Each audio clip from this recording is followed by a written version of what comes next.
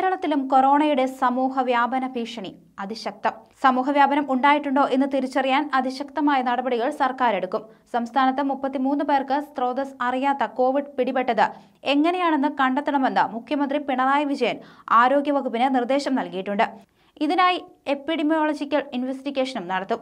കഴിഞ്ഞ ദിവസത്തെ അവലോകന യോഗത്തിൽ ആരോഗ്യ സെക്രട്ടറിയുടെ അവതരണത്തിന് ശേഷം പത്ത് രോഗികളുടെ പേര് വായിച്ച മുഖ്യമന്ത്രി ഇവരുടെ രോഗസ്രോതസ് അറിയുമോ എന്ന് ചോദിച്ചു.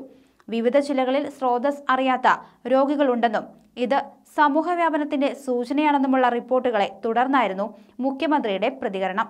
തുടർന്നാണ് എപ്പിഡമിയോളജിക്കൽ ഇൻവെസ്റ്റിഗേഷൻ നടത്താൻ തീരുമാനിച്ചത്. നേരത്തെ കൊല്ലത്ത് ഈ രീതി അവലംബിച്ചിരുന്നു. ഇതിലൂടെ രോഗത്തിന്റെ ഉറവിടം കണ്ടെത്താനാണ് നീക്കം. സ്രോതസ് തിരിച്ചറിയാത്ത കൂടുതൽ പേരുള്ളത് വയനാട്ടിലും മലപ്പുറത്തുമാണ്. കാസർഗോഡ് രണ്ടുപേരും കണ്ണൂർ നാല് പേരും പാലക്കാട് നാല് ഇടുക്കി നാല് കോട്ടയം രണ്ട് കൊല്ലം രണ്ട് തിരുവനന്തപുരം നാല് എന്നിങ്ങനെയാണ് മറ്റു ജില്ലകളിലെ എണ്ണം. റിമാൻഡ് പ്രതികൾക്ക് പോലും രോഗം വരുന്നു.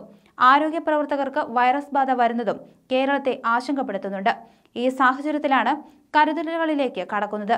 കേരളത്തിൽ കോവിഡ് പരിശോധന കുറവാണ്. ഇതും ആശങ്കയാണ്. പരിശോധനകൾ പരമാവധി കൂട്ടാനാണ് സർക്കാരിന്റെ തീരുമാനം. രോഗസ്രോതസ് തിരിച്ചറിയാത്ത മുപ്പത്തിമൂന്ന് പേരുടെയും കുടുംബാംഗങ്ങളുമായി ബന്ധപ്പെട്ട് വിശദമായ സമ്പർക്ക പട്ടിക തയ്യാറാക്കും. ലക്ഷണങ്ങളില്ലാത്ത രോഗികൾ ഒട്ടേറെ ഉണ്ടാകാമെന്നതിനാൽ ഇത് വലിയ വെല്ലുവിളിയായാണ് ആരോഗ്യവകുപ്പ് പറയുന്നത്. സംസ്ഥാനത്ത് കോവിഡ് രൂക്ഷമായ അവസ്ഥയിലേക്ക് മാറുന്നതായി സൂചനകൾ പുറത്തു വരുന്നുണ്ട്. ഇതിനിടയിൽ ആരാധനാലയങ്ങൾ തുറക്കുന്നത് സ്ഥിതി കൂടുതൽ മോശമാക്കിയേക്കാമെന്ന മെഡിക്കൽ വിദഗ്ധ സംഘത്തിന്റെ മുന്നറിയിപ്പ് അവഗണിച്ചാണ്. അതുകൊണ്ടാണ് കരുതലുകൾ സർക്കാർ എടുക്കുന്നതും. ഈ സാഹചര്യത്തിൽ ആരാധനാലയങ്ങളും മാളുകളും തുറന്നാൽ രോഗികളുടെ എണ്ണം വർദ്ധിക്കുമെന്ന് സമിതി ചെയർമാൻ ബി ഇക്ബാൽ അറിയിച്ചിരുന്നു. അത്തരമൊരു സാഹചര്യം ഉണ്ടായാൽ കേരളത്തിലെ ആരോഗ്യമേഖല തകരും. ആശുപത്രികൾ രോഗികളെ കൊണ്ട് നിറയുകയും ചെയ്യും. എന്നാൽ സമിതിയുടെ മുന്നറിയിപ്പ് തള്ളി ആരാധനാലയങ്ങളും മാളുകളും തുറക്കാമെന്ന കേന്ദ്ര നിർദ്ദേശം നടപ്പാക്കുമെന്ന് യോഗത്തിനു ശേഷം മുഖ്യമന്ത്രി പ്രഖ്യാപിക്കുകയുണ്ടായിരുന്നു. ഇത് പലവിധ വിവാദങ്ങൾക്കും കാരണമായി തീർന്നു.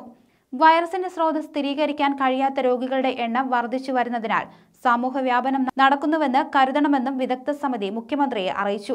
ക്വാറന്റീൻ ലംഘിച്ച ആളുകൾ പുറത്തിറങ്ങുന്നതും വലിയ ഭീഷണിയാകുന്നുണ്ട്.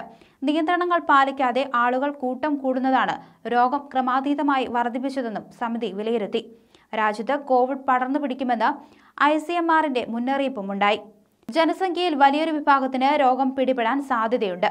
രോഗവ്യാപനം മാസങ്ങളോളം തുടരും. അതീവ ജാഗ്രത തുടരണമെന്ന് സംസ്ഥാനങ്ങളോട് നിർദ്ദേശിച്ചു. രോഗവ്യാപനത്തിന്റെ തീവ്രത മനസ്സിലാക്കുന്നതിനായി രാജ്യത്തെ എൺപത്തിമൂന്ന് ജില്ലകളിലായി നടത്തിയ സെറം സർവേയിലെ കണ്ടെത്തലുകളുടെ അടിസ്ഥാനത്തിലാണ് മുന്നറിയിപ്പ്.